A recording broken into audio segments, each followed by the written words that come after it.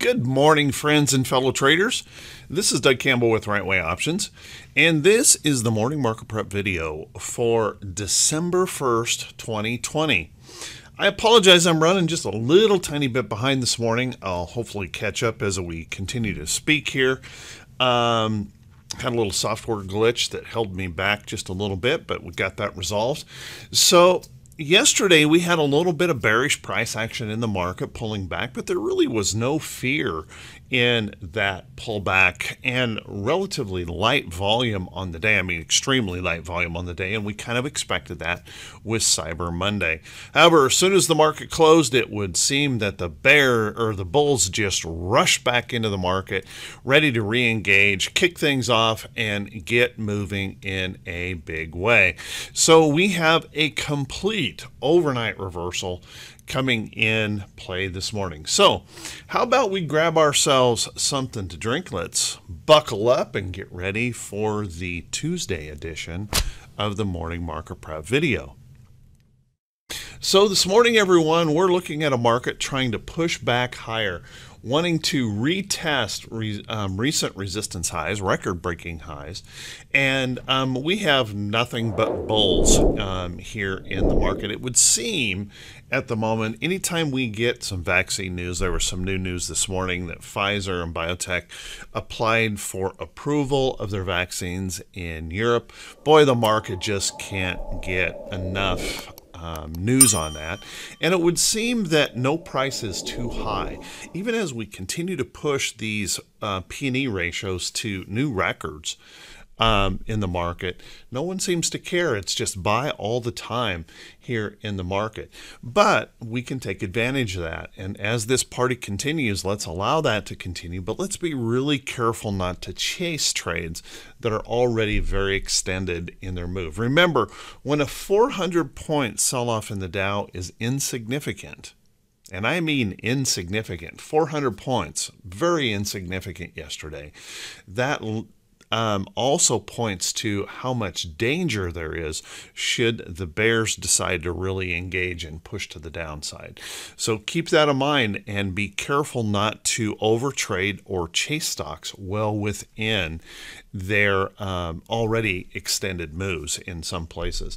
So let's take a look at the charts and see what we can get out of this. Um, you can see we still have overall an extremely strong bullish move in the market. And if I were to shift to um, the Dow chart and just measure from here our March lows, measure from here up to here, those highs, notice we've risen almost 65% um, since those March lows. Now, common sense would tell us that we're eventually going to see a rest or a pullback here in the market, but certainly not at the moment. It seems, even though uh, Jerome Powell says that the economy is extraordinarily uncertain, no one seems to care. It's just buy all the time. So, while we are in very bullish patterns and we're holding up very bullish, I think there is some risk here of uh, kind of chasing. Um, so watch that carefully. Now, if I look at the shorter term of this market, notice that we have a nice little upside trend here, and we have a little bit of a flat-topped wedge going on here. This morning, we're going to run back up here and try to retest these market highs to see if we can break through. You want to be careful on that. Two of the rules that I trade by is, is I buy stocks at or near price support. I sell stocks at or near price resistance.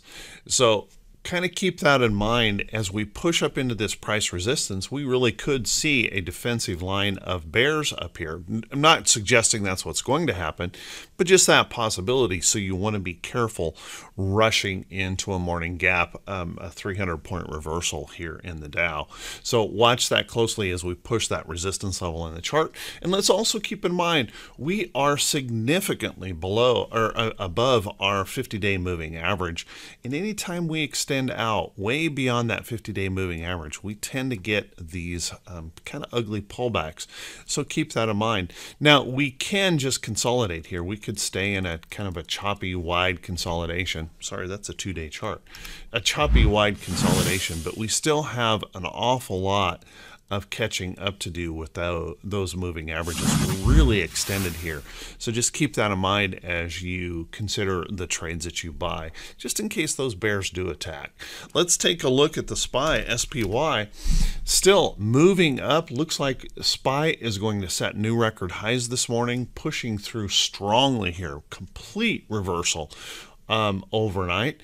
And once again, we are stretching this market higher. If we take kind of take a look at this, that's going to put, put us, um, if we look at the SP 500 index itself, whoops, there we go. If we just measure this one and notice from our uh, March lows up to here, that will be um, an extension of 65% in the S&P 500 since March. So extraordinary uh, moves in this market, and we're going to have to watch that pretty carefully. So looking at that SPY gap this morning, we're going to stretch that a little bit more. Watch that carefully and be careful to chase, but this was set new record highs in the SPY. If we take a look at QQQs, QQQ has been struggling trying to get back up here to get those new record highs. Hasn't quite made it there, but you can see on this morning's candle, we are stretching that right here, trying to push that higher wanting to reach out there for those new record highs, and we may just in fact get that done today.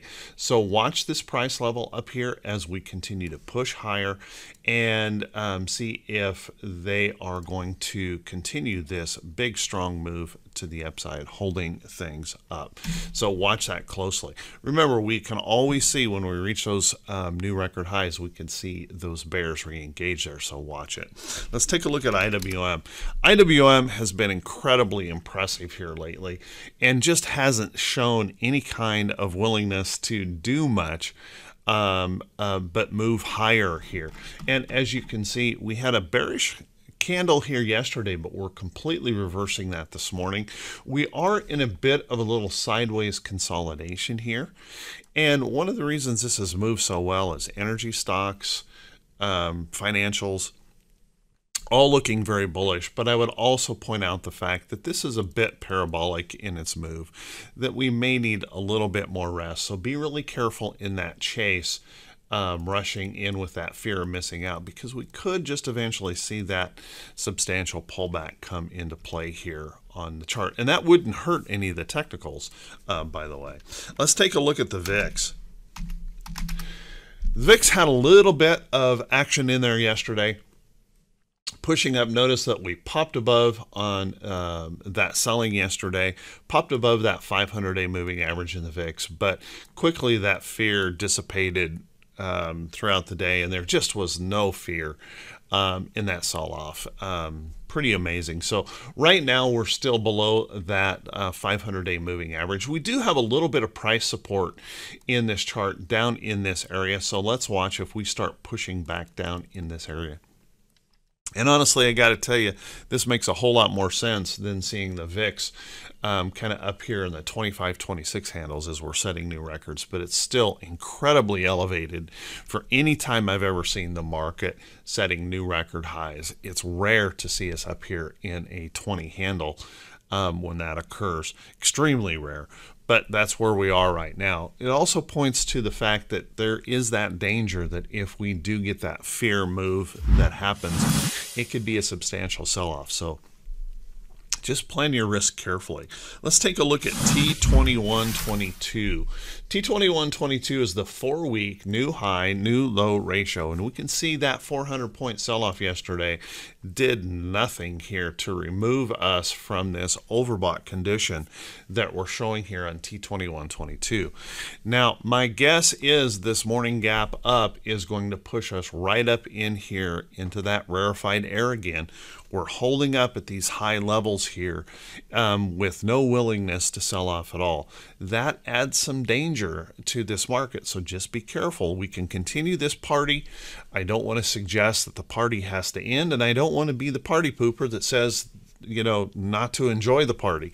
But we do have to be cognizant of where we are in the market. And as we continue to extend, just make sure that you're planning those trades very carefully. You're not wildly chasing into stocks. Just watch that close. Make sure you have um, a well planned trade with a risk tolerance that is is acceptable. It's really easy to get involved in a chase move here. Oh my gosh, I'm missing out. I got to hurry up and buy, buy, buy. And that's when things start to reverse. So watch that close. If we take a look at our economic calendar for today, our economic calendar has quite a little bit going on here uh, today. Whether it will move us around much, I don't know, but we do have a couple big things. Probably the most important today is going to be the ISM number. Right now, that ISM number is looking for a little bit of a pullback from the prior number, so we'll want to keep an eye on that. Could move the market. Um, let's just watch that closely. Right now, it's been kind of, if we get bad news, like we get unemployment rising, we get jobless claims going up, we just ignore it and continue to push higher. Um, if we get a pullback in ISM, perhaps we just ignore that as well. Um, keep an eye on PMI and construction spending. Both of those are expecting a bullish outcome according to consensus. And then always remember, anytime Jerome Powell is speaking, we should make note of that. I doubt we learn anything new. Um, he is going to be out there defending uh, provisions of the CARES Act, trying to get those reinstated, and continues to repeat that the the market is um, uncertain.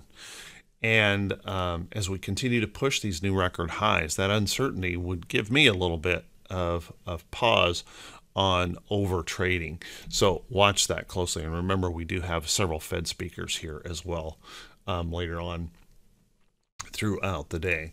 Let's take a look at um, some stocks that could be setting up. But before we do that, guys, if you could do me a favor, if this is the first time you've seen these videos, if you could please click that subscribe button on YouTube and also click that bell icon when it pops up so that you'll be notified every time I post one of these videos. And I hope you see that these videos are a little bit different. I'm not here to provide hype. I'm not here to provide a whole bunch of prediction. What I'm here to do is look at the technicals of the chart and point out the things so that price action could be giving us a clue on. And if you find that to be helpful, please do me a favor and click that uh, thumbs up button, leave a brief comment, and also feel free to share this video out there on any other social platform. I truly, truly appreciate it. So let's take a look at some stocks that are setting up. And remember that every time I show a stock in uh, these charts um, as a potential trade, that um, it's not a re recommendation to buy or sell any security whatsoever. Um, remember, you have to do your own due diligence. You have to do your own planning on these trades. Never, ever blindly follow someone else's trade. Never blindly follow someone else's trade. Make sure you have your trade well planned for your rules in your trading. Let's take a look at a couple of these charts that are looking really good and some of the better ones that I saw yesterday. Take a look at UPS. UPS pushing back up yesterday and we're holding this nice little upside trend and I really like this little consolidating pullback that we showed in here yesterday. Nice little rest back over to this trend, and the bulls were stepping up, pushing into here, pushing higher. Now, we do have resistance in this chart that we have to consider, but let's also consider the fact that Amazon has put out news today saying record setting sales, and um, a lot of the retailers um, as well. Um, Black Friday set a record setting Black Friday sales um, happen. And so we can expect these shippers to just be busy, busy, busy. And the concern is they may not even have the capacity to get all those uh, purchases out in a reasonable time. So watch that closely. These guys are really looking good.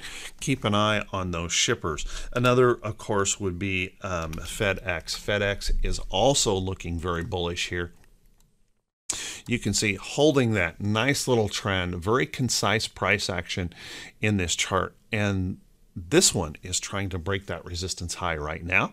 So watch that closely. FedEx looking to move higher um, this morning. Let's take a look. I mentioned John Deere yesterday, and John Deere had a little bit of a surge um, yesterday. Ended up pulling back by the end of the day, but take a look at that. John Deere working this breakout, trying to get through that level. John Deere looking strong will want to keep an eye on that. I also mentioned Apple to kind of keep an eye on Apple, and Apple had a really good day yesterday, pushing up. Now, I have a price alert on that chart, and you can see we alerted on that yesterday. I chose not to trade it just because we're kind of a long ways from a stop loss in that trade. But Apple moving up here strongly, any rest or pullback that gives us any kind of hold of this new uh, price level in here uh, would be potentially an opportunity to buy and maybe a resumption of uptrend. So watch that carefully. We don't have that really clear signal of uptrend yet, but if we get that clear signal, Apple may be ready to re-engage to the upside. Keep a close eye on it. Take a look at BLL. BLL is another one of those shipping container companies out here and notice that it's been resting and I did place an alert on this chart yesterday.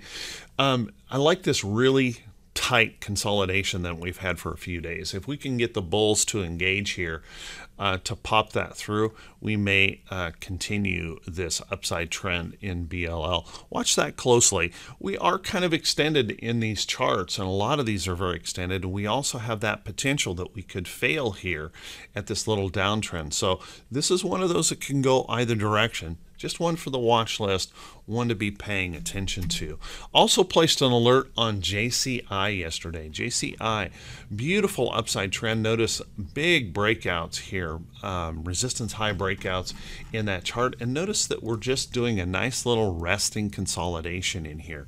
What I would want to be watching this for is if we re-engage this trend at any time for that pop back through to the upside and we extend JCI on higher. So keep an eye on that one. Pretty good looking chart. How about Ally Financial? Now, Ally has been one of those really, really strong performers in the market. But notice yesterday, bearish engulfing candle as we pulled back in that chart. Just a, well, excuse me, um, misspeaking. This is the candle this morning. So Ally Financial trying to push down this morning, a little bit of selling as we pushed up, trying to break through some big resistance levels in the chart. But Ally, I think, is still worthy to keep an eye on. Notice we've had these pullbacks here, pretty sharp pullbacks, and then we reverse and come right back up. So watch that closely if the Bulls re-engage in those financials. And speaking of the financials, let's take a look at XLF, the Spider Select uh, Financial ETF. Notice that yesterday we had a pretty substantial push down, but this morning we're getting a complete reversal back up. Now, I still think these moves in these charts are pretty darn parabolic when you think about how fast we moved up here and should get on a typical basis would get more of a rest in the market. Whether that occurs, I don't know, but I know I don't want to chase this move. A little bit or a little bit more rest in here could set up an opportunity. That's a big overnight swing uh, back up, so be careful on that chase. But anything in the financials are starting to look pretty darn bullish. So if we can get a rest, if we can get a consolidation, if we get any kind of a pullback, those look pretty darn good. And I'm going to say the same thing about energies. Energies extremely bullish, and although yesterday we had a pretty strong sell-off, I like this move a lot more that I'm seeing here. And actually, I laid out a bull put credit spread for members of um, Right Way Options yesterday for that potential here in that chart. But although we pulled back pretty strong, bouncing back up here this morning, um, this might be one of those trades that you can uh, take a close look at and that opportunity that this may move on higher. For those of you that might be looking for a longer term trade, take a look at stocks like IBM. Pretty, pretty remarkable um, that we're talking about IBM here. Um, seems like forever that we really wanted to talk much about IBM, but notice we're breaking this downtrend, holding an uptrend. Notice this big sharp move that we've had here recently. No one wants to sell it. We're just getting a consolidating move over toward trend. Keep an eye on that. We might see something going in here. Some of these big old companies like 3M making a huge break of big time downtrends, trying to show bullishness in the chart, and we've successfully come back to test that level. If those bulls can hold in here, this might be that longer term trade that you're looking for, that big upside potential that could move. Just think, just imagine if this comes back up here to the middle of this range, just kind of a reversion to the mean, it could mean 25, 30 points in 3M. So keep an eye on charts like that. Other charts that are also uh, showing some potential long term. Let's take a look at AT&T. Big dividend payer. Notice that we're breaking this downtrend. We're holding support levels in that chart, trying to stay bullish. We may see stocks like AT&T perk back up here as well. So keep a close eye on those. So everyone, I want to wish you all a fantastic day. I want to wish you great profits in your trading. And be careful out there. Those coronavirus numbers continue to plague us. Uh, bad choice of words, I guess, but um, causing all kinds of uh, problems in our economy, even though we're doing our very best to ignore all of the impacts that's likely happening in small business.